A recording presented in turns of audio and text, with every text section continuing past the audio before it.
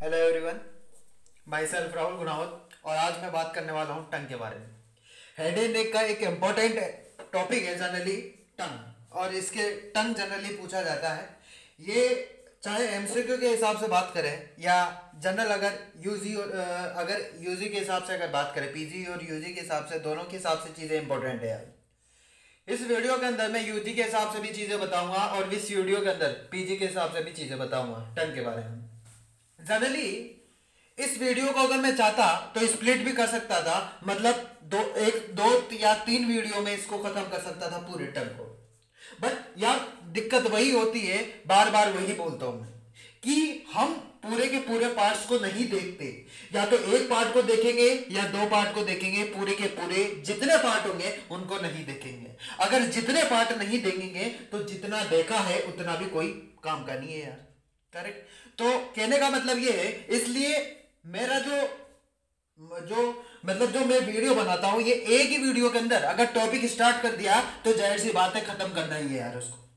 तो अब इस टंग को अगर अगर कंटिन्यू देखोगे, जब भी टंग समझ में आएगा। ये जो वीडियो बनेगा, ये अप्रोक्स अगर मैं बात करना चाहूँ तो 40 या 45 मिनट के समथिंग का वीडियो बनेगा यार। तो ध्यान से देखिएगा और ध्यान से सुनिएगा, जब भी आपको टन समझ में आएगा। इसमें बारीकी बारीकी से चीज़ें बताऊँगा एक एक चीज़ बताऊँगा जनरली टंग के बारे में। तो आ जाता हूँ, क्योंकि वीडियो थोड़ा लंबा है तो टाइम बिना टाइम वेस्ट किए अपने टॉपिक पे आता हूँ। टंग की अगर बात की जाए तो टंग एक मस्कुलर ऑर्गन है सबसे पहले। करेक्ट सेकंड पॉइंट है कि जो टंग है, इसका वॉलेंट्री नेचर होता है। वॉलेंट्री नेचर का मतलब क्या है? यार, ये कंट्रोल करता है। मतलब ये खुद जो टंग होती है हमारी, वो मतलब कंट्रोल कर सकती है। किसी भी तरह का मोमेंट को। करेक्ट इसलिए इसका वॉलेंट्री नेचर होता है। करेक्ट मतलब कंट्रोल नेचरिंग होता है। उसके बाद में नेक्स्ट में बात करता हूँ कि इसके एक्शनल फीचर के बारे में बात करता हूँ। तीन तरह के एक्शनल फीचर होते हैं इसके अंदर। टिप सेकंड होता है बॉडी और थर्ड होता है रूट करेक्ट और जो बॉडी होती है बॉडी भी अगेन डिवाइड हो जाती टू टू तरह के पार्ट में, दो तरह के सरफेस होते हैं बॉडी के अंदर। एक तो होता है अपर सरफेस और एक होता है लोअर सरफेस जिसको इनर सरफेस भी बोला जाता है। करेक्ट अब, जो अपर सरफेस की अगर बात करूँ तो अपर सरफेस रफ होता है। रफ क्यों होता है? क्योंकि उसके अंदर पेपिला प्रेजेंट है। जबकि जो लोअर सरफेस की अगर बात करूँ तो ये स्मूथ होता है। स्मूथ क्यों होता है? क्योंकि इसके अंदर किसी भी तरह का कोई पेपिला यहाँ प्रेजेंट नहीं होता है। करेक्ट उसके बाद में नेक्स्ट मैं बात करता हूँ कि जो अपर सरफेस है इसको डोरसम भी बोला जाता है। और इसको जब डोरसम बोला जाता है तो मतलब इसके दो तरह के पार्ट होते हैं। एक ओरल पार्ट होता है और एक फेरेंजियल पार्ट होता है। ओरल पार्ट को अपन टू थर्ड पार्ट भी बोल सकते हैं और फेरेंजियल पार्ट को वन थर्ड पार्ट भी बोल सकते हैं। करेक्ट और जो पेपिला की अगर बात करो तो पेपिला क्या है? पेपिला एक प्रोजेक्शन है जो एक आ, हमारे म्यूकस मेम्ब्रेन के जनरली करेक्ट जो हमारे एक जनरली अपर सरफेस पे प्रेजेंट होते हैं। करेक्ट और जिसकी वजह से रफ होता है सरफेस उसके बाद में नेक्स्ट है कि जो ये वाला जो इनर और जो लोअर सरफेस है, ये स्मूथ है क्योंकि इसके अंदर किसी भी तरह का कोई पेपिला नहीं है और ये भी म्यूकस मेम्ब्रेन से बना होता है और इसके अंदर ओनली एक ही पार्ट प्रेजेंट होता है दैट कैन बी ओरल जबकि इसके अंदर दोनों पार्ट थे ओरल पार्ट भी था और फेरेंजियल पार्ट भी था। हो जाएगा। तो ये सारी बात करी मैंने एक्सटर्नल फीचर के बारे में। अब मैं बात करता हूँ इसके डायग्राम से समझता हूँ कि किस तरह से प्रेजेंट होता है। तो ध्यान से देखिएगा डायग्राम तो ये इसका डायग्राम है जनरली टंग का डायग्राम है ये। मैंने बनाया टंग का डायग्राम और ये टंग के डायग्राम के दो, देखो दो तरह के पार्ट होते हैं। ये पोस्टेरियर वन थर्ड पार्ट ये वाला यहाँ से लेके यहाँ तक और ये होता है anterior two third part correct और ये होता है ये एक वी शेप का एक ग्रो होता है, जिसको बोला जाता है सल्कस टर्मिनस जो पिंक कलर से मैंने शो कर रखा है ये वाली वी शेप की लाइन ग्रो और ये बीच में जो सल्कस दो सल्कस टर्मिनस राइट और लेफ़्ट से आते हैं, और बीच में एक सर्कल टाइप का फॉर्मेशन करते हैं, ये होता है फोरामेन सीकम मतलब मैं बोलूँ कि सल्कस टर्मिनस है, या सल्कस टर्मिनल सी जो टंग है, उसको पोस्टेरियर वन थर्ड और एंट्रेयर टू थर्ड में डिवाइड करता है. अगर आपसे कोई पूछ ले कि जो टंग है, वो डिवाइड होती है एंट्रेयर टू थर्ड और पोस्टियर वन थर्ड वो किसके बेसिस पे होती है? तो वो सर्कस टर्मिनल्स के बेसिस पे होती है। जो सर्कस टर्मिनल्स होता है ना, जो वी शेप का जो ग्रू होता है ना, यही कन्वर्ट इसको ये कहने का मतलब मैं ऐसा बोलूँ कि यही आपस में इनको डिवाइड करता है। उसके बाद में नेक्स्ट पॉइंट की अगर बात करूँ तो नेक्स्ट पॉइंट ये आ जाता है कि हमारी जो टंग है, टंग की जो रूट्स है, वो हमारे एपिक्लोटिस से अटैच हो जाती है। या फिर मैं ऐसा बोलूँ कि ये जो टंग है ना, इसका जो ये रूट है ना, और ये है इसका टिप करेक्ट तो इसका जो रूट है, वो हमारी एपिग्लोटिस से अटैच हो जाता है। अब एपिग्लोटिस से अटैच होने के लिए भी, ध्यान से सुनिएगा एपिग्लोटिस से अटैच होने के लिए भी तीन तरह के फोल्ड की मदद से वो अटैच होते हैं यार, ये रफ सरफेस कौन कौन से? एक, दो, तीन। नंबर डाल रखे मैंने। नंबर डाल रखे हैं। ध्यान से देखिएगा कि एक दो तीन नंबर डाल रखे हैं। मतलब ये हो गया लेटरल ले, ये ये तो हो गया लेटरल ग्लोसो एपिग्लोटिक फोल्ड और ये हो गया मीडियल ग्लोसो एपिप्लोटिक फोल्ड और ये हो गया लेटरल ग्लोसो एपिप्लोटिक फोल्ड मतलब राइट और लेफ़्ट साइड के दो लेटरल ग्लोसो एपिग्लोटिक फोल्ड और एक मिडल एपिग्लोटिक फोल्ड ये तीन तरह के ग्लोसो एपिप्लोटिक फोल्ड है, जिनकी हेल्प से। और ये ग्लोसो एपिप्लोटिक फोल्ड क्या है? एक तरह की म्यूकस मेम्ब्रेन के फोल्ड है यार। एक तरह की म्यूकस मेम्ब्रेन के फोल्ड है, और इनकी मदद से, इनकी हेल्प से हमारी जो रूट की जो टंग है, वो हमारे एपिग्लोटिस है, उस एपिग्लोटिस से अटैच होती। आया समझ में? ये हुई हमारे ऊपर की वाली बात। ये हमारे जनरल बातें हुई, हमारे एक्सटर्नल फीचर्स के बारे में बात करी। अब मैं एक बता, बात बताना भूल गया, मैं यहाँ पे बता देता हूँ कि जो टिप है ना, ये टिप ये टिप क्या करती है कि रेस्ट करती है, कहाँ हमारे अपर इंसीजर जो टीथ है ना, उसके बिहाइंड में ये एक रेस्ट करती है। मैंने क्या बोला कि जो हमारी जो टीथ जो टिप है अगर, जो टिप की अगर मैं बात करूँ तो जो टिप है ना, ये वाला टिप, ये क्या है, कहाँ पे रेस्ट करता है? अपन इंसीजर जो टीथ होते हैं ना, वहाँ, उसके बिहाइंड में ये एक क्या करता है? रेस्ट करता है। उसके बाद में कुछ पेपिला के बारे में बात करूँगा। तो पेपिला के अगर बात, बारे में बात करूँ तो तीन तरह के तो जनरल पेपिला होते हैं। ध्यान से देखिएगा, सुनिएगा। तीन तरह के जनरल पेपिला बताऊँगा। पहले मैं डायग्राम से बताऊँगा, फिर मैं थ्योरी बताऊँगा यार। करेक्ट मेरी आदत क्या है कि जितना हो सकता है, जितना हो सकता है मैं पूरा का पूरा डायग्राम एक्सप्लेन करने की कोशिश करना चाहता, करता हूँ। बट कुछ चीज़ें ऐसी होती है जिनको थ्योरी में लिखना भी पड़ता है। क्योंकि यार, अगर अभी तो ठीक है, मैं बता रहा हूँ। बट अगर डायरेक्ट आप नोट्स पढ़ते हो तो वो चीज़ें है ना, वो वैसे डायग्राम से एक्सप्लेन हो रही है सारी चीज़ें बट अगर उस टाइम याद नहीं आती तो उस टाइम हमारी थ्योरी काम करती है। तो थ्योरी पे मैं हर चीज़ लिखता हूँ जो बिना अगर वीडियो देखे भी हम चीज़ें समझ सके। बिना वीडियो देखे हम चीज़ें समझ सके, वो सारी चीज़ें मैं लिखता हूँ। तो ध्यान से देखिएगा, पहले मैं डायग्राम बताऊँगा। तीन तरह के पेपिला है। एक पेपिला है होता है जो हमारे सल्कस टर्मिनल्स के नीचे की तरफ़ प्रेजेंट होता है, उसको बोला जाता है वेलवेट पेपिला और ये जो मैंने स्काई ब्लू से शो कर रखा है, और इसी को बोला जाता है वेलवेट पेपिला को सरकम वेलेट पेपिला करेक्ट और इसकी अगर बात करूँ तो इसके जो नंबर है, वो स्मॉलेस्ट नंबर होते हैं। करेक्ट इसके नंबर है, अगर उसकी बात करूँ तो वो स्मॉलेस्ट नंबर होते हैं बट इसकी साइज़ की अगर बात करूँ तो साइज़ ज़्यादा होती है। अब साइज़ कितनी ज़्यादा होती है अगर इसका अनुमान लगाओ ना यार तो इसकी साइज़ एक से दो मिलीमीटर इन डायमीटर होती है। तो इसकी जो साइज़ है ना, वो एक से दो मिलीमीटर इन डायमीटर होती है, जो मैंने यहाँ पे मेंशन भी कर दिया।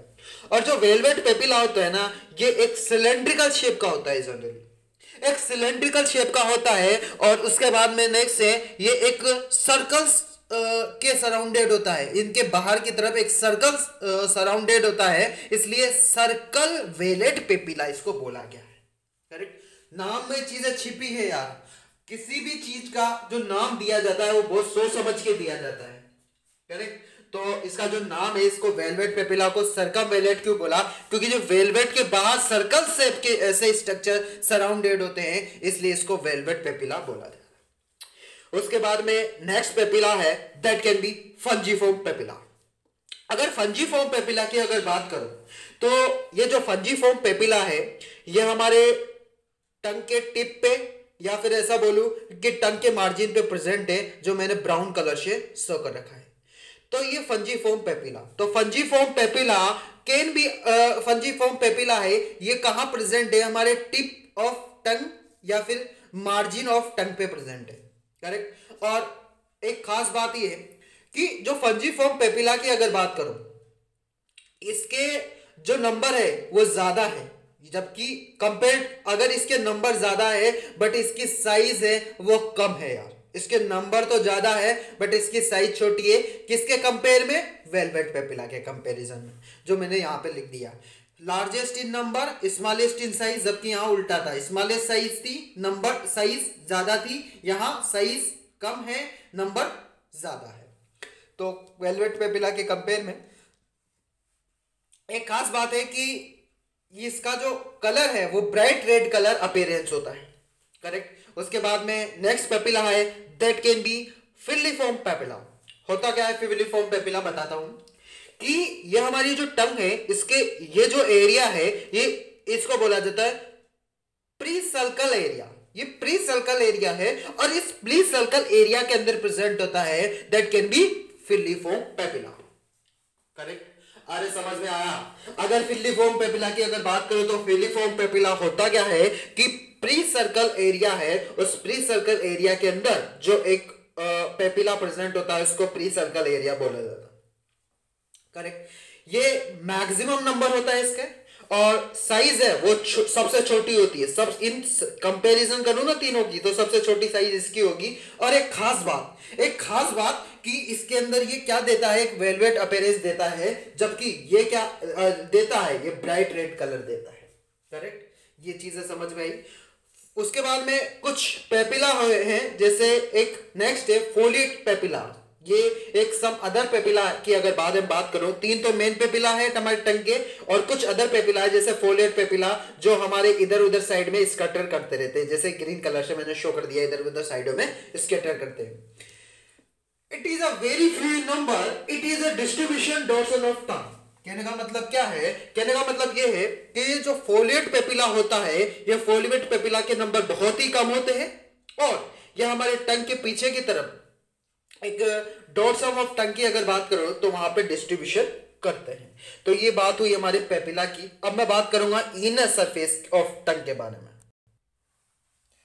इनर सरफेस ऑफ़ टंग की अगर बात करूँ तो जानता हूँ कि इनर सरफेस ऑफ़ टंग होती क्या है। Inner of surface of tongue की अगर मैं बात करूँ तो कहने का मतलब ये है कि ये कुछ इस तरह का डायग्राम है। ये हमारे टंग के बीच में से एक फोल्ड जा रहा है मीडियली फोल्ड जा रहा है, जिसको बोला जाता है फ्रेनम लिंगुलर फ्रेनम लिंगुलर है क्या? जनरली एक तरह का फोल्ड है जो मीडियली हमारे टंग के प्रेजेंट होता है. करेक्ट और इसके लेटरली अगर बात करूँ, ये हमारा टिप है टंग का, और इसके लेटरली जो फ्रेनलम लेंगुलर के थोड़ा लेटरली एक फोल्ड प्रेजेंट होता है, जिसको एक लेटरली एक प्रोमिनेंट फोल्ड प्रेजेंट होता है, जिसको डीप लिंगुलर पेन बोला जाता है. करेक्ट अब, उसके और लेटरली अगर जाए, अगर उसके और लेटरली अगर जाए तो वहाँ पे प्लीका फिम्ब्रेटा फोल्ड प्रेजेंट होते हैं, जो उसके और ज़्यादा लेटरली प्रेजेंट होता है। करेक्ट मैंने क्या कहा? ध्यान से देखिएगा कि इनर सरफेस है, इसके मिडल में एक फोल्ड प्रेजेंट होता है, जिसको बोला जाता है फ्रेनलम लेंगुलर और इस फ्रेनलम लेंगुलर के थोड़ा सा लेटरली अगर बात करूँ तो वहाँ पर डीप लेंगुलर वेन प्रेजेंट होता है. और उसे थोड़ा सा और लेटरली अगर जाऊँ मोर लेटरली तो वहाँ प्लाइका फेब्रिएटा के फोल्ड जनरली मिलेंगे आपको. ये हुई हमारे इनर सरफेस की बात. और जो हमारा इनर सरफेस है, ये स्मूथ है. अब स्मूथ है मतलब ये है, फिर भी ये कवर होता है मतलब म्यूकस मेम्ब्रेन से कवर होता है ये। मतलब किसी भी तरह की इसके अंदर कोई पेपिला प्रेजेंट नहीं होती पेपिला प्रेजेंट नहीं होती मतलब म्यूकस मेम्ब्रेन यहाँ पे, वहाँ पे प्रेजेंट होती है। मैंने शुरू में बताया था यार। करेक्ट अब मैं बात करता हूँ मसल्स ऑफ़ टंग के बारे में। मसल्स ऑफ़ टंग के बारे में बात करूँगा यार। कि मसल्स ऑफ़ टंग की अगर बात करो तो दो तरह की मसल्स है। एक होती है इंट्रेंसिंग मसल्स और एक होती है एक्सटेंसिंग मसल्स जो इंट्रेंसिंग मसल्स है, वो चार तरह की होती है superior longitudinal muscles inferior longitudinal muscles transversal muscles और वर्टिकल्स मसल्स एक्सटेंसिव मसल्स होती है जीनियोग्लसस पैलेंटोग्लसस हाइपोग्लसस स्टाइलोग्लसस ये भी चार तरह की होती है. अब इस यहाँ पे मैं जो डायग्राम है, ये इंट्रेंसिंग मसल्स का डायग्राम है. नीचे यहाँ पे मैं डायग्राम बताऊँगा, ये एक्सटेंसिंग मसल्स को समझाऊँगा. वन बाय वन डिस्कस करूँगा. पहले मैं बात करूँगा डिस्कस करूँगा इंट्रेंसिंग मसल्स के बारे में. ध्यान से देखेगा वन बाय वन बात करूँगा। एक एक चीज़ बताऊँगा। एक एक बारीकी से एक एक चीज़ बताऊँगा। मतलब एक भी डाउट नहीं रहने दूँगा यार। अब देखो, ध्यान से देखिएगा इस डायग्राम को। ये मैंने हमारी टंग का डायग्राम बनाया है। और यहाँ पे ये एक मिडली फाइबरस सेप्टम जा रहा है ऐसे। ये इसको बोला मिडेली फाइबर सेप्टम और ये जो मिडेली फाइबर सेप्टम है, ये टंग को राइट और लेफ़्ट हाफ़ में डिवाइड करता है। देखो राइट और लेफ़्ट दो हाफ़ में डिवाइड कर रहा है टंग को तो ये जो मिडिली फाइबर सेप्टम है इसका अगर आपसे कोई पूछ लेता है कि इस, इसका काम क्या है तो आपको क्या बताना है कि ये हमारी जो टंग होती है उस टंग को राइट और आ, हमारी जो टंग है उसको राइट और लेफ़्ट साइड में आप में डिवाइड करता है। अब सबसे पहले मैं बात करता हूँ सुपीरियर लॉन्गिट्यूडनरी की। ये यहाँ पे ये सर्कल शेप का ब्लैक कलर से मैंने शो कर रखा है अपर पार्ट के अंदर। ये एक सुपीरियर लॉन्गिट्यूडनरी मसल्स है हमारी, जो एक एंट्रेंसिंग मसल्स है। ये प्रेजेंट होती है, यहाँ पे सुपीरियर लॉन्गिट्यूडनरी मतलब यहाँ म्यूकस मेम्ब्रेन प्रेजेंट होती है। इसका मतलब ये सुपीरियर लॉन्गिट्यूडनरी के अंदर मतलब म्यूकस मेम्ब्रेन प्रेजेंट होती है। और ये काम क्या करती है कि सुपीरियर लॉन्गिट्यूडनरी मसल्स का काम क्या है? अगर मैं इसके बारे में बोलूँ तो ये जो सुपीरियर लॉन्गिट्यूडनरी मसल्स है, ये सुपीरियर लॉन्गिट्यूडनरी मसल्स ये हमारी टंग को क्या करती है? एक तो शॉर्ट करती है करेक्ट शॉर्ट शॉर्ट आउट करती है टंग को, और एक दूसरी बात कि डोर्सल सरफेस ऑफ़ टंग है, उसको कॉन्वेक्स कॉन्वेक्स का जो काम है वो करती है जनरली करेक्ट ये बात समझ में आई? सुपीरियर लॉन्गिट्यूडनरी ये मसल्स काम करती है। अब उसके बाद में नेक्स्ट में बात करता हूँ कि यहाँ पे ये होता है इस तरह से जीनियोग्लासस और जो जीनियोग्लासस की अगर बात करूँ तो जीनियोग्लासस के और ये है हमारी ग्रीन कलर से हाइपोग्लासस तो हाइपोग्लासस और जीनियोग्लासस के बीच में एक मसल्स होती है इंट्रेंसिंग मसल्स होती है, जिसको बोला जाता है इंफीरियर लॉन्गिट्यूडनरी मसल्स और जो इंफीरियर लॉन्गिट्यूडनरी मसल्स की अगर बात करूँ, ये इसका काम क्या है? इसका काम है कि शॉर्ट करता है और कौन केव करता है? सेम करेक्ट हमारी टंग को शॉर्ट करता है और केव करता है? उसके बाद में नेक्स्ट में बात करूँगा, हमारे, अगर मैं बात करूँ कि जो ट्रांसवर्सल और फिर मैं बात करूँगा वर्टिकल्स तो ये जो ट्रांसवर्सल लाइन जा रही है, ऐसे ऐसे, ये है हमारी ट्रांसवर्सल ये ट्रांसवर्सल की अगर बात करूँ मतलब ये एक इलोंगेटेड लाइन से जो हमारे टंग को एक नेरो नेरो करवाने का काम प्रोवाइड करवाती है नेरो में हेल्प करती है।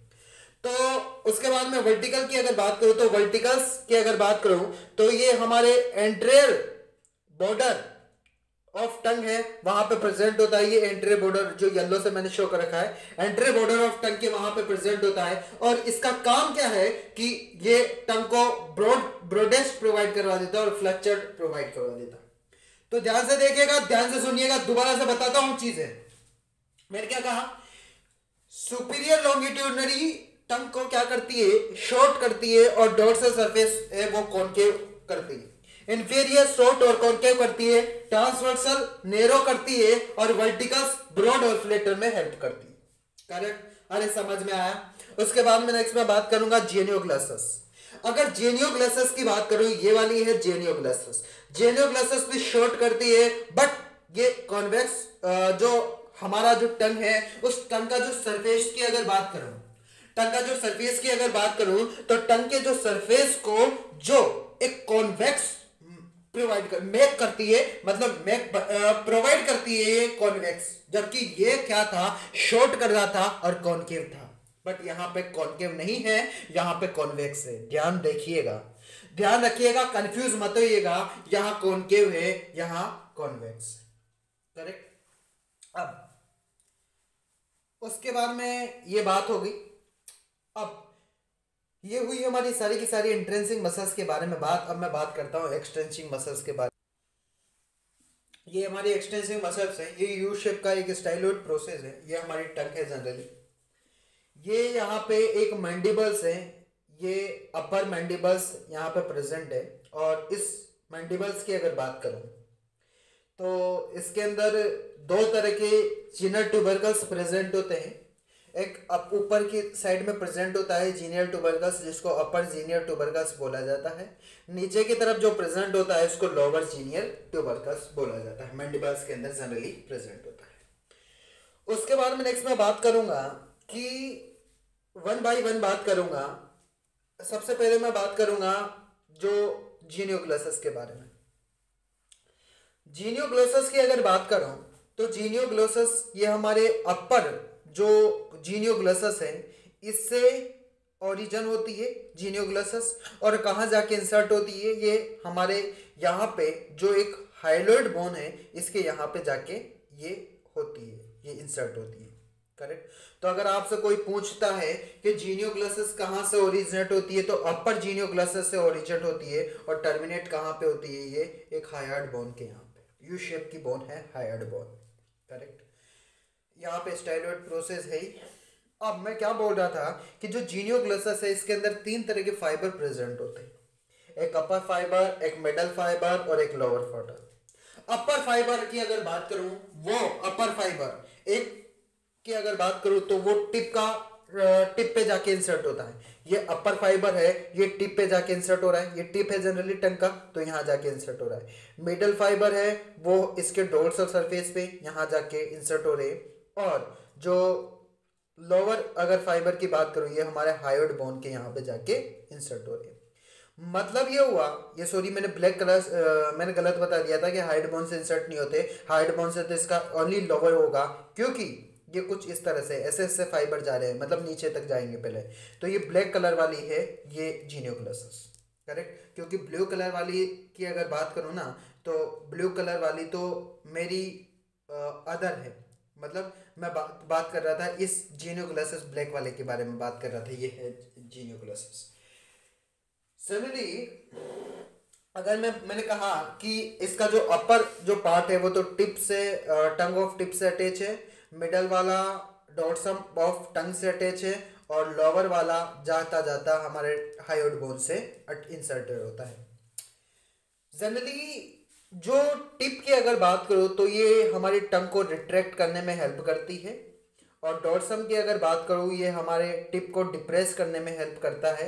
और अगर हाइड की अगर बात करूँ, ये पुल करता है forward part of a tongue and protrude the tongue anterior forward anterior branch मतलब sorry protrude the tongue forward कहने का मतलब क्या है? ध्यान से समझिएगा। जो हाइट की अगर बात करो तो हाइट क्या करता है?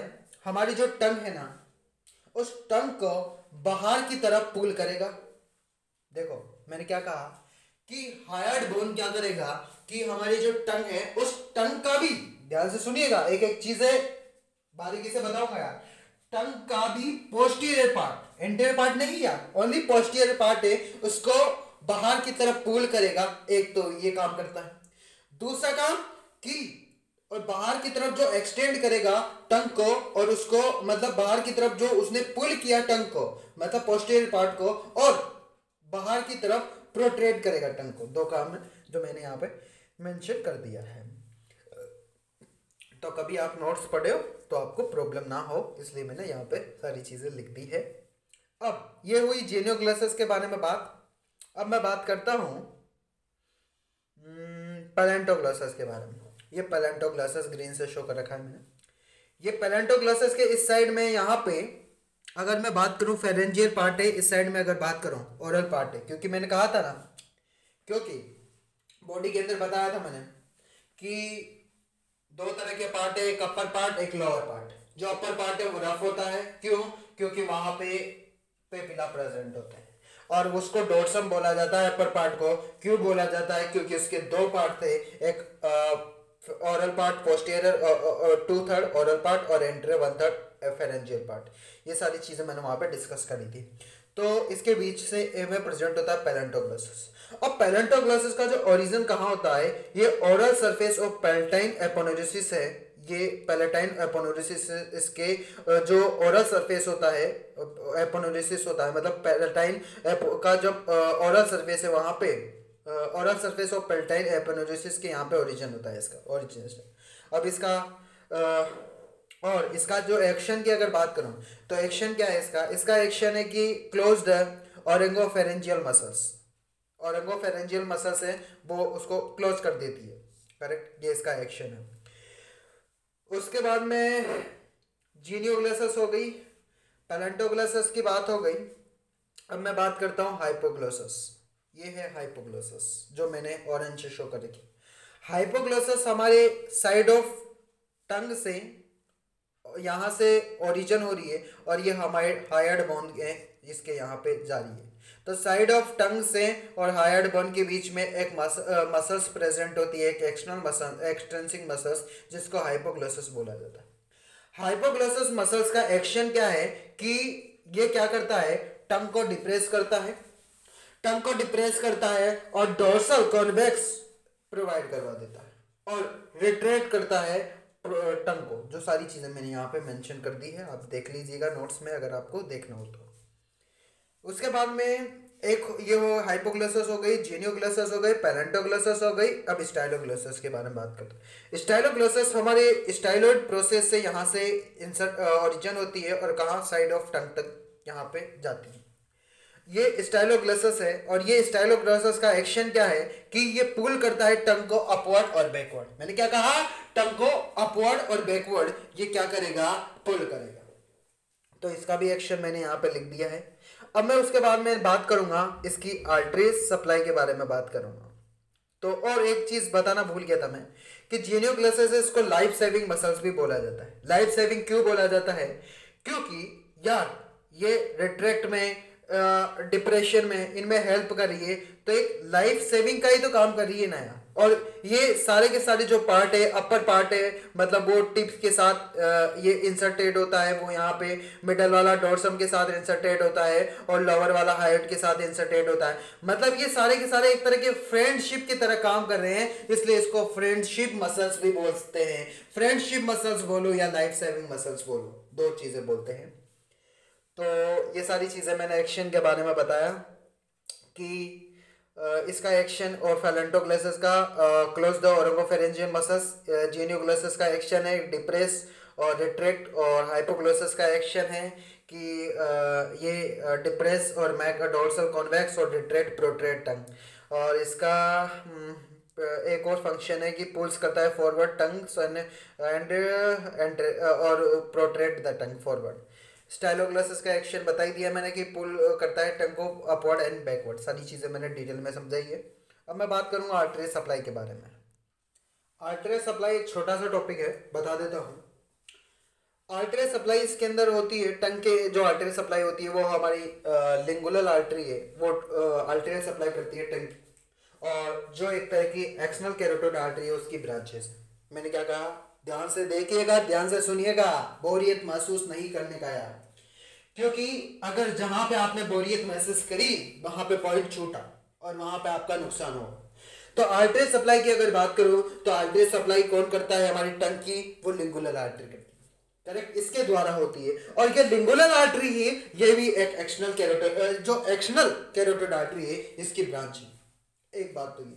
दूसरी बात कि कुछ एडिशनली भी सप्लाई होती है और कुछ एडिशनल सप्लाई होती है रूट्स जो टंग ऑफ़ रूट्स की अगर बात करो तो वो वो कुछ एडिशनल सप्लाई करती है। क्या एडिशनल सप्लाई करेगी? दो एडिशनल सप्लाई करेगी। एक तो tonsillar branch of facial artery supply करेगी और एक असेंडिंग फेरेंजियल ब्रांच सप्लाई करेगी। करेक्ट और जो असेंडिंग फेरेंजियल ब्रांच है, ये भी एक एक्सटर्नल कैरोटिड आर्टरी है। इसी की ब्रांचेस है। अरे, समझ में आया? तो उसके बाद में आर्टरी सप्लाई हो गई। अब मैं बात करूँगा वेनस ड्रेनेज वेनस ड्रेनेज की अगर बात करूँ तो प्रिंसिपल वेन है, ये एक लार्जेस्ट वेन है, और यही एक डीप लिंगुलर वेन आपको याद हो तो मैंने इस तरह का डायग्राम बनाया था कुछ।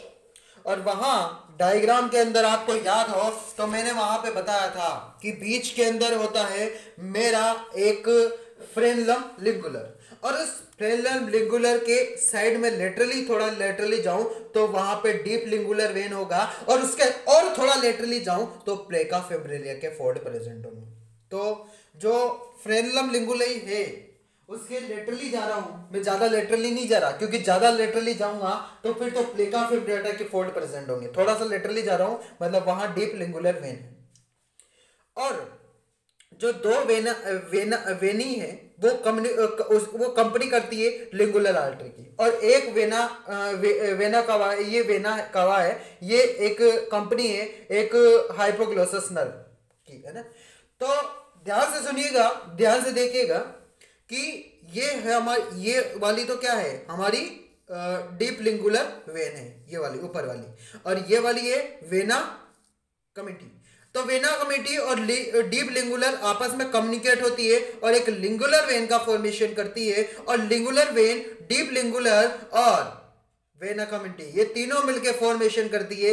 तीनों की तीनों जाती है इंटरनल जगलर वेन के अंदर। करेक्ट ये हुई हमारे वेनस ड्रेनेज के बारे में बात। अब मैं बात करूँगा लिम्फेटिक ड्रेनेज और उसके बाद में लास्ट एंड फाइनल बात करूँगा नर्व सप्लाई के बारे में। तो लिम्फेटिक ड्रेनेज समझते हैं। इसको मैं डायग्राम से तो अगर लिम्फेटिक ड्रेनेज की अगर बात करो तो चार तरह के पॉइंट पड़ेंगे लिम्फेटिक ड्रेनेज के अंदर। ये हमारा जो टिप ऑफ़ टंग है, इस टिप ऑफ़ टंग है, ये बायोलेटरी ड्रेन करता है सब मेंटल लिम्फ नोड्स के अंदर। एक तो ये लिम्फ नोड यहाँ पे ड्रेन करता है।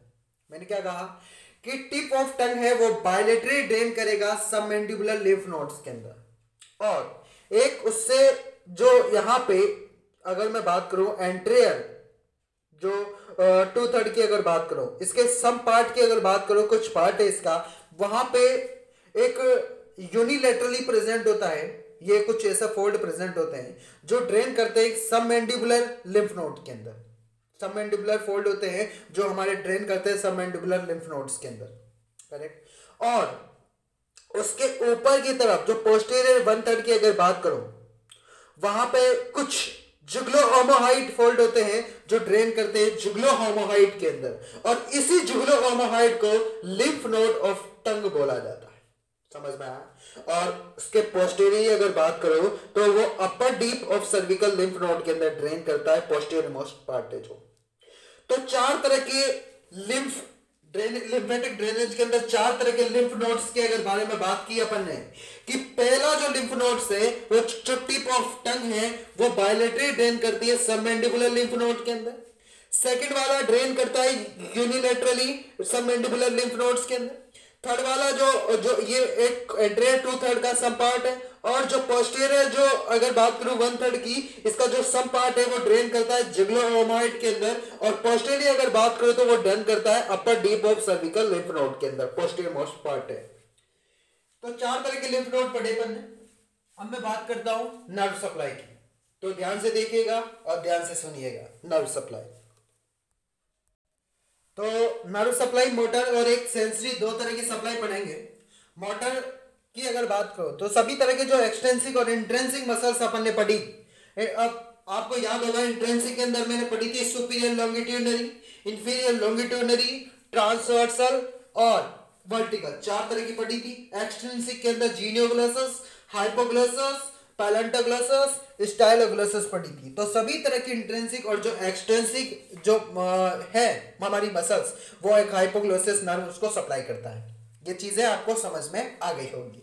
एक्सेप्ट एक पैलेंटोग्लोसिस है, इसको सप्लाई करता है वेगो असेंसरी कॉम्प्लेक्स करेक्ट ये ओनली एक्सेप्शन है जो आपको याद रखना है। ये डबल बार रिपीट हो गया। ये बात एक ही है। अब, ये हुई हमारे मोटर अब सेंसरी के बारे में बात करता हूँ। सेंसरी की अगर बात करूँ तो ध्यान से सुनिएगा, ध्यान से देखिएगा। यार, एंड्रेज जो टू थर्ड है, ये यहाँ पे हमारा वेलवेट पेपिला होता है। तो ध्यान से देखिएगा एंट्रेड टू थर्ड की अगर बात करूँ तो एंट्रेड टू थर्ड के अंदर जनरल सेंसेशन के लिए जीएस मतलब जनरल सेंसेशन है टीएस मतलब टेस्ट सेंसेशन है। आपको कंफ्यूज नहीं हो है मतलब आपको, आप ये सोचो यार जीएस मतलब क्या है टीएस मतलब क्या है, इसलिए मैंने यहाँ पे लिख दिया, सारी चीज़ें मेंशन कर दी है। जीएस मतलब जनरल सेंसेशन है टीएस मतलब टेस्ट सेंसेशन तो हमारे एंट्रेड टू थर्ड के अंदर जनरल सेंसेशन के लिए लिंगुलर नर्व्स रेस्पॉन्सिबल होती है और टेस्ट सेंसेशन के लिए कोडा टिम्पेनिक रेस्पॉन्सिबल होती है। एंट्री टू थर्ड के अंदर एक्सेप्ट वेलवेट पेपिला ये याद रखिएगा। ये चीज़ याद रखिएगा कि पूरे के पूरे एंटेयर टू थर्ड के अंदर जनरल सेंसेशन के लिए लेंगुलर नर्व और टेस्ट सेंसर के लिए कोडा टिप्पेनी रेस्पॉन्सिबल होता है but except a vallate papilla नहीं रेस्पॉन्स करता। इसको छोड़ के पूरे के पूरे पार्ट के अंदर जनरल सेंसेशन के लिए ये और टेस्ट सेंसेशन के लिए ये रेस्पॉन्सिबल होती है। आया समझ में? ये एक्सेप्ट है, इसलिए मैंने क्रॉस लगा रखा है। उसके बाद में मैं बात करूँगा पोस्टेरियर वन थर्ड की तो उसके लिए ग्लोसोफेरेंजियल रेस्पॉन्सिबल होता है, जो हमारे दोनों जनरल ग्लोसस और टेस्ट सेंसेशन के लिए रेस्पॉन्सिबल होता है दोनों के लिए। उसके पीछे की तरफ़ अगर बात करो, ये लार्जेस्ट लेरेंजियल नर्व है इंटरनल लेरेंजियल नर्व जो इंटरनल लेरेंजियल नर्व है, ये ये वेग, इसको सप्लाई कौन करता है? पीछे की तरफ़ इंटरनल रेंजियन नर्व है। इसको वेगस नर्व है जनरली ये पोस्टीरियर पार्ट को ही सप्लाई करता है। इसके थ्रू ये जो वेगस नर्व है, ये इंटरनल लेरेंजियन नर्व के द्वारा सप्लाई करता है। ये सारी चीज़ें तो तो आशा करता हूँ कि ये वीडियो आपको समझ में आई होगी होगी। अगर ऐसा हुआ है तो please like share and subscribe my medical studio YouTube channel और इस वीडियो के अंदर मैंने पूरी की पूरी जो टंग है, उसको खत्म कर दिया है यार। एक वीडियो के अंदर पूरी की पूरी टंग। अगर आप पढ़ते भी हो ना टंग को तो अगर आराम से भी पढ़ते हो ना तो दो घंटे तो कम से कम मिनिमम है यार टंग को पढ़ने के लिए। अगर ढंग से समझ के याद करते हो तो। बट ये जो वीडियो है ओनली 35 मिनट का वीडियो है, और 35 मिनट के अंदर पूरी की पूरी जो टंग है, उस टंग का रिवीजन होगा यार। और एक एक चीज़ का रिवीजन होगा। मतलब जितनी भी इंपॉर्टेंट चीज़ें हैं, वो मैंने सारी चीज़ें कवर करने की कोशिश की। कुछ चीज़ें ऐसी भी है जो छूट गई है इस वीडियो के अंदर, वो आप किताब से देख लो। क्योंकि जो इंपॉर्टेंट चीज़ें थी, वो सारी चीज़ें मैंने बताई है, और जो इंपॉर्टेंट चीज़ें नहीं थी, वो मैंने नहीं बताई। तो इस वीडियो के अंदर टंग की एक्सटर्नल फीचर्स उसके papilla internal service muscle supply artery supply venous drainage lymphatic drainage nerve supply इन सभी की पूरे के पूरे टॉपिक है, वो सारे के सारे टॉपिक मैंने कवर करे इसके कुछ क्लिनिकल कंडीशन है। वो क्लिनिकल जनरली एनाटोमी के अंदर क्लिनिकल तो लिखना ही पड़ता है इंपॉर्टेंट है यार। तो वो क्लिनिकल आप बुक से पढ़ लीजिए। मैं यहाँ पे बना सकता था बट यार फिर वीडियो बहुत ज़्यादा लंबी हो जाती। तो उसको देखने में काफ़ी दिक्कतें होती। तो क्लिनिकल आप बुक से पढ़ सकते हो। अगर फिर भी कोई दिक्कत आए क्लिनिकल में तो मैं उस पर भी वीडियो बना दूँगा। तो ये हेड एंड नेक का एक इम्पोर्टेंट एसन है, एक इम्पोर्टेंट टॉपिक है जनरली थैंक यू